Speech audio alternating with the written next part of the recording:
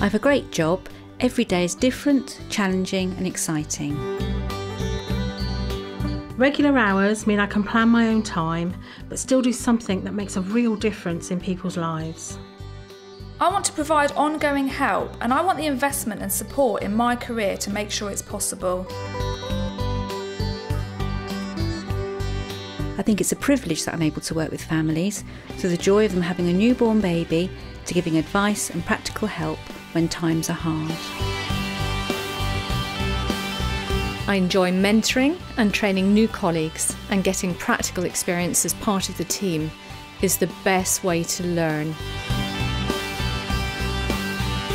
My job is about relationships. My life is about making a difference. I'm a health visitor.